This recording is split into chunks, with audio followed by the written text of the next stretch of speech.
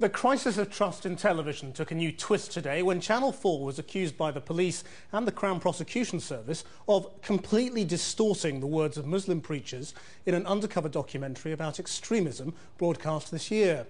West Midlands Police say that after investigating whether any offences had been committed by the preachers, whom Channel 4 accused of making hateful comments about non Muslims, they turned their attention to the actions of the programme makers. They're alleged to have edited the documentary in a way that changed the meaning of the preacher's comments. No charges are to be brought, but the police have made a complaint to the broadcasting watchdog Ofcom. Channel 4 deny the allegations, saying the police have provided no evidence or examples to support their claims. Here's our Midlands correspondent, Darshna Soni. A Dispatches investigation has uncovered a fundamentalist message spreading from the Saudi Arabian religious establishment through mosques run by major UK organisations.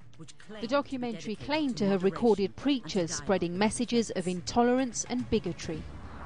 Allah created the woman, even if she gets a PhD, deficient. Her intellect is incomplete, deficient. She may be suffering from hormones that will make The broadcast led to dozens of complaints and an official police inquiry.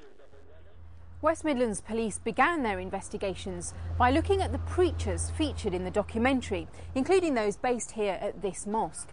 But they ended by investigating the programme makers themselves, concluding that they had completely distorted what the speakers said.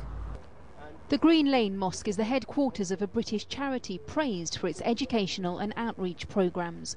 But the dispatches team filmed one of its imams, an American convert, Abu Usama.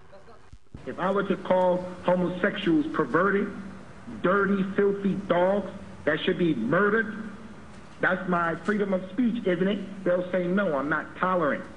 But, but the Imam says his words were taken out of context. I made some statements that were taken out of context, and as a result of that, they can appear to be inflammatory. No doubt about that. I wouldn't sit here and try to subtract myself from what came out of my mouth. But again, it had everything to do with the context of what was being said. He admits, however, that he believes homosexuality is wrong, but says he never advocates violence against homosexuals. Homosexuality is an abomination in the religion of Islam, but that's one thing. That's a ruling in Islam.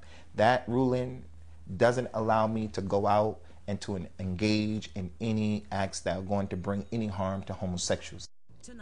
Channel 4 said in a statement that the comments made in the film speak for themselves, that the speakers clearly made abhorrent or extreme comments.